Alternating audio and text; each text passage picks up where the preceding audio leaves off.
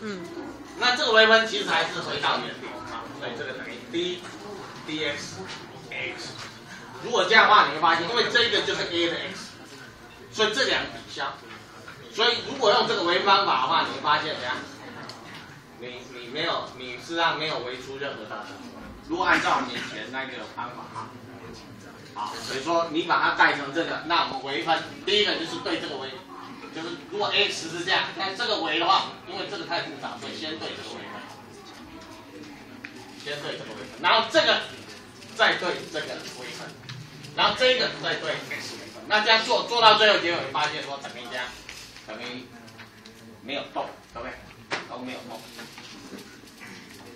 都没有动。如果说要用我们以前的这个微分方法，因为我们知道这个微分太复杂，就先把它当做参数，先为这一个，然后接下来再这个再对 x 微分，x 再对 x 微分，回到这里你会发现等于等于没有办法得到结果。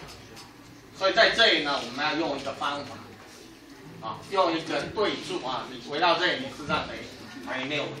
所以我们在这里要用到一个对数的这一个。啊，自然对数的一个一个定义啊，一个定义啊，来看一下什么定义啊？其实这个对数大家在高中的时候就学过啊，高中的时候你有学过，我们来看一下一个很简单的关系，两个函数相乘，两个函数相乘等于怎样？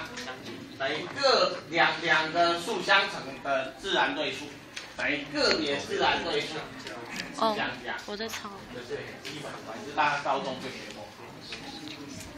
好，那如果这样的话，那如果是 x 乘 x 呢？那是等于 x 的平方，对不对？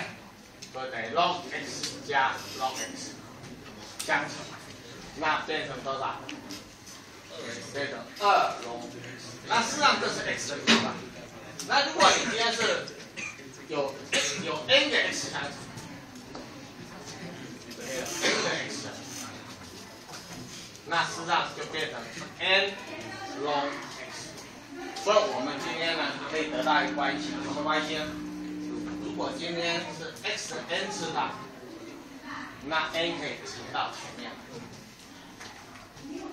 好，这个这个这个乘幂可以跑到前面，因为这等于 n 个 x 相乘，所有乘幂可以乘到前面。这是大家以前在高中大家就学过啊，这样子我就懂了。因为我们刚刚讲，哎，这个地方呢，他这样子我就懂。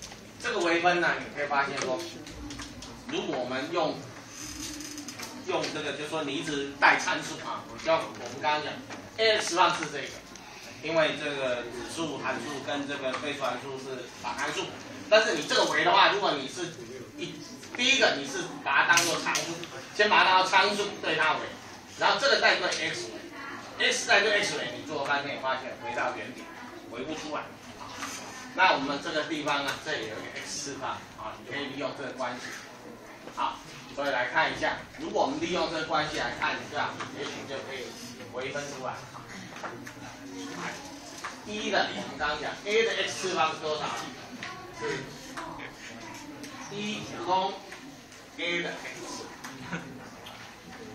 所以同学你可以把 x 拿到前面，所以等于一的 x log a，好，可以这样，好，所以接下来我们来微分的话就会好做一点啊。我们来看 x 微分，如果你今天带这个关系的话，这是一，我们刚刚讲，这个是这个。来看一下，这个哈，这个怎么为哈？这个话变成对一的 x log a。那你可以发现，你你第一个，你先把它当做一个什么？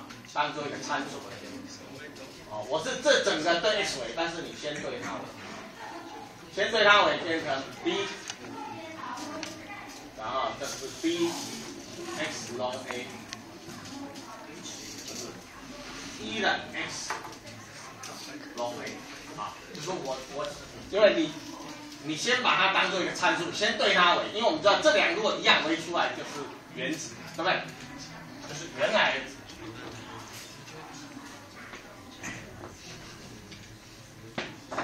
然后第二个，请在这个在在这个再对 x 对不对？x long x x long a long a 是一个常数，因为 a 是一个常数，这样的话就会比较好做啊。其实跟刚我们还是跟刚刚这个过程一样，但是我们刚刚讲，如果你这样围下围到最后是啊，如果说你你不你不先你不把先把这个 x 呢，你不把这个乘力降下来的话。我们来讲，你乘力如果没降下来，这样直接用这个方法去围的话，好，一样，其实围的方法一样，就是先对这个围，啊，这个再对里面围，里面再对 x，但是呢，这样子围围到最后是回到原点，所以我们先把先把先利用这个关系，先把 x 降下来，降下来之后来围呢就会好一点嘛。我们今天对等于这个对 x 维，但是这个先不要对 x 维，先对这个围，对 x long a 围。那 x long a，x long a 在对 x，啊，那这个话我们知道这两相相等，所以这个微分结果是不变的，对不对？刚刚我们是不是讲过，这两个如果一样的话，它微分是不变，还是一的 x 对 x 微分是不变的？因为你就讲这两是一样，这两一样的时候微分是不变，所以第一项就是一的 x log a。那后面呢？后面会不会微？因为这是常数。